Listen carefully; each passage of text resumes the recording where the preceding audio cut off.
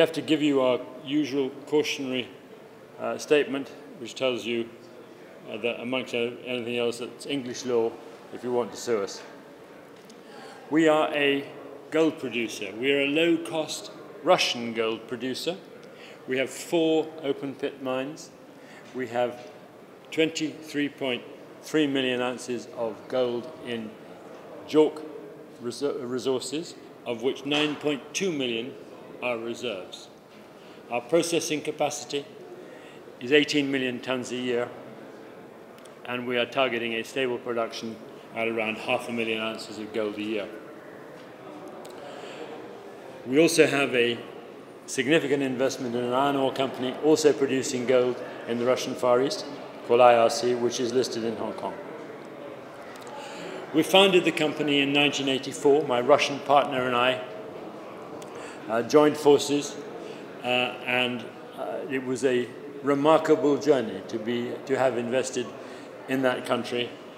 And the only agreement that he and I have between us is a piece of uh, foolscap with uh, a few pencil notes on, and actually we lost it. So we've worked together for 21 years without an argument, without a fight, and uh, it's done very well. We, we listed the company, first of all, uh, in 2002 um, because we had some trophy investors who, we want, who wanted to get out, uh, and the only money we raised was enough to pay the fees of the broker.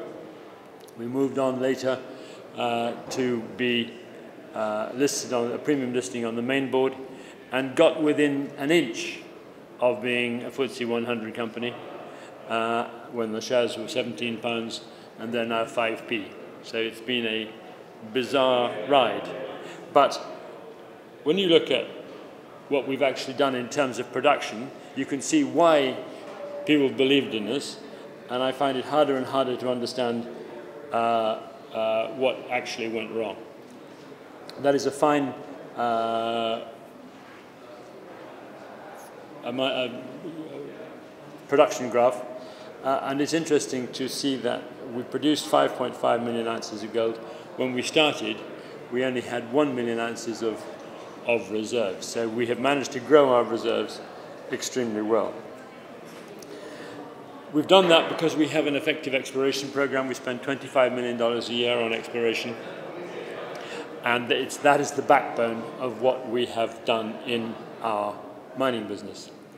We've also invested an enormous amount of money in the production facilities, and uh, they are of the top quality. Most of the uh, process equipment, as opposed to the mining equipment, comes from China because we're located right on the borders of China. We're working closely with the uh, local government and the federal government in Russia, uh, and recently uh, they've given us a grant to upgrade our overhead power lines to some of our more remote mines, uh, which will give us uh, greater flexibility uh, Uh, in our processing. And also they are upgrading the bridges and the road uh, to that, th those two mines up there, which have been a cause of some aggravation. When the uh, snow melts, you suddenly get a huge sweep of water down which blocks the, the, uh, the access. Key strengths, well, the management team, I would say that wouldn't I am one of them, but the asset quality is, is very high. We've been, we've been working there for 21 years, working together for 21 years, with a workforce that is extraordinarily well educated.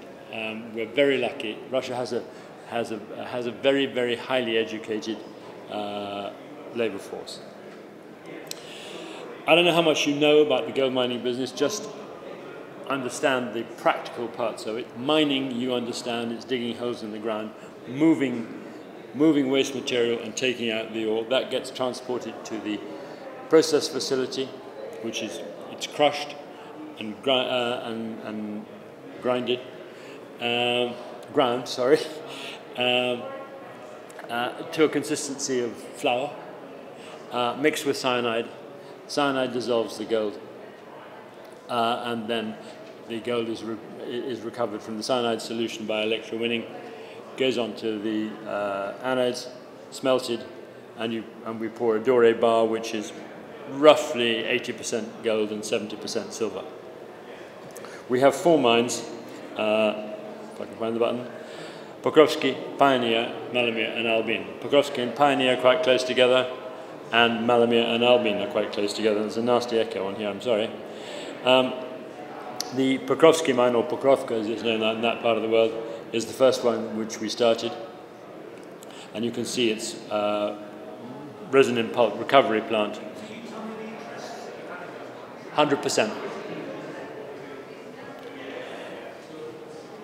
The original one, Pokrovka, was owned by my partner, and we uh, and I co-invested with him. Uh, the next one, Pioneer, we paid $150,000 for, and it's produced about three million ounces of gold. So it's been a, we were in, in, there at the right time, and we picked up some truly remarkable assets. Um, this um, uh, was virtually unexplored when we got there. It's now quite not a very big operation, only only um, 1.8 million tons per annum, um, and uh, is coming to the end of its end of its life. We're, we're, mi we're mining gold uh, mostly around the um, perimeter, uh, and it's, because it's very close to the railway station, it's where we have built the pressure oxidation uh, hub, where we'll be treating the uh, refractory ore from Malomir. Um, Pioneer is, is, has been the and is now our flagship mine. It's really uh, extraordinary. I say we paid $150,000 for it in auction from the state, and everybody said, oh, well, the state will hate that. But actually, the, state doesn't hate it because it takes a 6% royalty right off the top without any investment, without any management. It goes straight to Mother Russia. We also employ people, so in an area where there is very little employment, we pay our taxes locally and federally, uh, and uh, so from the, from the Russian state's point of view, having someone operate like us operating efficiently is very important. And that's why we're one of 200 companies in Russia that are considered to be strategically important. And we're particularly strategically important because we're right on the borders of China. And the build-up of friendship between Russia and China at the moment, particularly in gold, is very strong. Um, we also have, um, we also have, um, I finished that one, um, the uh, Malomir deposit, which is up in the northeast of, of the Amur region where we operate. I just wanted to give you one picture or two pictures of what it looks like in the winter because it's a very different operation. Minus 50 uh, at the worst in the winter and plus 40 in the summer. Fantastically variable. We have to stop mining at around minus 40 because much below that, the steel gets very brittle and can shatter. Um, we acquired this uh, in 2003 when we realized that the future of gold mining worldwide is the treatment of refractory ore, ore that is difficult to liberate, liberate the gold from. The gold is, is, is bound up in a, in a, in a, uh, a quartz matrix and you can't get the cyanide through the quartz to do it. However hard you, however hard you grind it, it doesn't work. Mother Nature, on the other hand, has done a remarkable job over years with oxygen, with air, with wind, and sunshine, and all the rest of it. So the normal stuff that we're treating has been done over about four million years. What we have to do is the same thing in about 45 minutes in our pressure oxidation, which is uh, crushing and grinding the way we would ordinarily do, and then doing a flotation process, the, the uh, quartz sulfur matrix floats, and you can skim the, the, the, scum off the thing and throw all the rest away. Um, and uh, then by mixing that with pure oxygen, the oxygen and the sulfur combine to produce sulfur dioxide, uh, and, and, and very high temperatures, uh, and, and doing it at very high pressure in a big what's called an autoclave, a huge pressure cooker, um, we can actually achieve that process, and, it, and it's, um, it's, it's working very well on a, on a, on a um, uh, full test bed, not, not in operation yet, but, in, but on full test beds, and something that is, that is being widely used around the world, um, particularly in uh, Finland, uh, in um, Dominican Republic, in New Zealand, so it's a, it's a well-known process, but it was expensive to put in. Um, Albyn is, the, is our newest mine, also up very close to, uh, uh, to Malomir. Much easier to process or refractory all the way through, no, no, uh, no problems. Um, big stripping ratio because it's, it's, we're going into a hillside, so you have to take a lot of waste material off the top. But that's, uh, uh, but it's also got a lot of, of uh, other deposits around it which are um, exciting for us in, uh, from an ex ex exploration point of view. Um,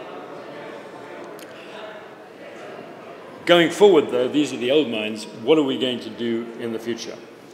And because we have very high grades, particularly in the uh, uh, Pioneer mine, uh, we decided to look at the idea of going underground. If you have a, a pit uh, like this, pit walls here, as you get to the bottom of it, you have a, you have a, it's impossible to, to, to go forward further down unless you move the walls back, and that's very, very expensive. So the idea is to go underground uh, from the bottom of the pit. And there's a map here uh, that shows you how that would work. The, the big swirls are the, the pit shell, and where what we've actually done, the open pit, um, is, is that. And then we get, by putting a decline in, you can drive trucks down to the bottom and mine into the ore body uh, on the side. I'm really sorry there's so much noise. It's really deeply inefficient way of doing things. Um, we have uh, several of these zones at Pioneer that we can do the same thing. And that is the future of, of, of, what we're doing. So the key takeaways, and from, from, from my point of view, is the quality of our assets, focus on cash flow generation, and long-term growth potential. Now, there are, uh, I just want to talk to you a little bit about the gold price, because I think that things that have been going on in the market are very, very, very strange.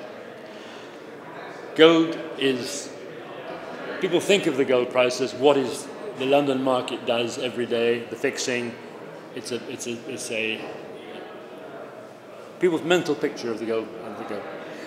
But the, that's not true. There are, there are now two very, very separate gold markets. There's a physical gold market, which actually is bars, gold that you can hold and touch. And then there's this fantastic uh, derivatives market, particularly in America on the COMEX. And we are seeing huge demand in the physical market from China, from India, and from the central banks. It's, it's at record levels. China's, China's, China's consumption so far this year is 80% of, uh, of world mine production. China alone, that doesn't count for for India, which is about another million, another thousand tons, the demand is, is, is very strong, yet the price is awful. And on Friday, we saw another of these great bombing of the market by somebody. Nobody knows who. It's happened three or four times recently. Friday was Black Friday. It's the, it's the Friday between Thanksgiving and the weekend when, when there's very few people working in New York, so it had the maximum possible uh, downward effect. And we're seeing things that, that are just stink of manipulation. And what is going to happen? It, it's very hard to forecast. But if you look at this, the statistics on, on, uh, on the COMEX, which is a futures market, there's about one ounce of gold, deliverable gold, that you could, if you, if you stood for delivery on that market, there is one ounce of gold for every 200 ounces of gold that people have sold. Now, it's relatively easy to buy stuff because there's plenty of money around, but there is very little gold around. And so people who have sold this stuff, I think, are taking fantastic risks. And the risk of a, the risk of there being trouble on the COMEX, I think, is very high. And that's actually bad news because so often in this world, when there's problem in the market, the, the authorities come in and they say, right, we'll have a financial closeout.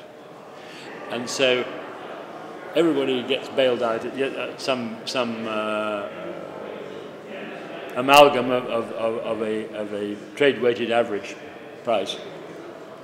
Uh, and the shorts uh, are, are let out. But the poor people who need the gold are, are completely lost. And I, and I see I see a real problem here. And so I, I would say to anybody who is in, even thinking about the gold market, um, if you're buying gold because you believe in it as a, as, a, as a safe haven, as a store of value, and as a medium of exchange, because it's nobody else's problem, for goodness sake, buy the physical stuff. Buy, get out there, go, go and buy coins, go and buy small bars, and, and keep them somewhere where you can control them, because the reason to own, own the stuff is exactly that. And I think that the, the risks in the derivatives market, which is now, I think there are something like 450,000 100 ounce contracts on open interest now, which is, which is a huge uh, amount of gold um, and, and, and very scary.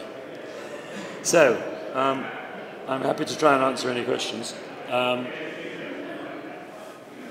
yes, sir.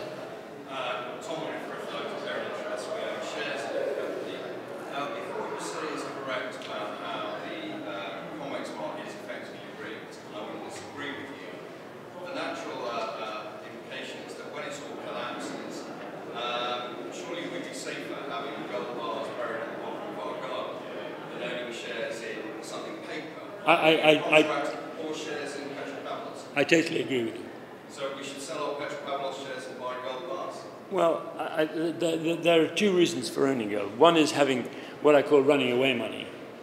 And if I was in Syria right now, uh, I'd be much happier if I had some, some tiny bits of gold to get myself out. That's that, that's the reason to it. Gold is the last resort. Gold is the, the, the, the, thing that you hold just in case it's ghastly. I call it wealth insurance. You have health insurance, you have fire insurance, and gold, I think everybody should have some wealth insurance and, and little gold bars. If you want to be involved in a, a what is, is a leverage play on gold, all the mining companies are, are leveraged because we have huge amounts of gold in the ground stored, impossible to steal, unless you're a government. Um, uh, then, then, then you're, buying, you're buying gold very, very cheaply. I mean, the market capitalization of, of our company, the enterprise value of the company is probably a billion dollars.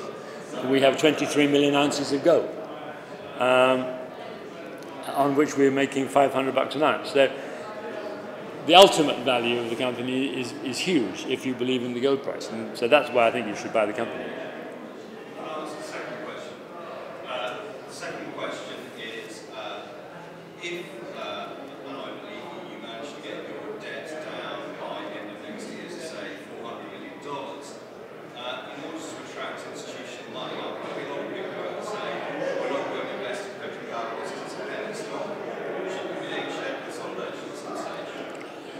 A lot of people have, have asked me that question, um, and uh, I've never really understood the argument because um, uh, it, it, just because you have a share with a big number in front, it doesn't actually mean it's any better than one with a tiny number. And, and, the, and, and going from a penny uh, to two pennies is, is a 100% uh, increase. So I've never really bought the, the argument, but, but my, um, my eldest son, who's a very big uh, fund manager, has already told me, Dad, you know, you should really, you've got to do a share consolidation. So I'm probably old-fashioned. It's not for, it's not for people, you and I know that pound of uh, feathers weighs the same as a pound of lead. Uh, but it's for fund managers, they, they're not worth so. Thank you, Tom. Yes, sir. Uh, I'm as well. Um, what environmental risks is the company exposed to at the moment? Thinking of what happened in Brazil Well, all I would say to you is that um, when we take investors to the mines, we always say to the investors, would you like to look at the tailings dams? And all of them say, oh no, no, we're not interested in that. After what's happened in Brazil, I think that they should take more care. We take a huge amount of care um, uh, about what we're doing. Um, and, and one of the costs of huge costs at Malomir is the lining of the tailings dam uh, with geotextile. Uh, one of my yeah yeah. Um, one of my one of my directors said, for that sort of money, you could you could uh, you could carpet the whole of the Amur region. And I said, well, you, nearly we are, because it we, it, we, we what, what you have to do in these things is to make them watertight.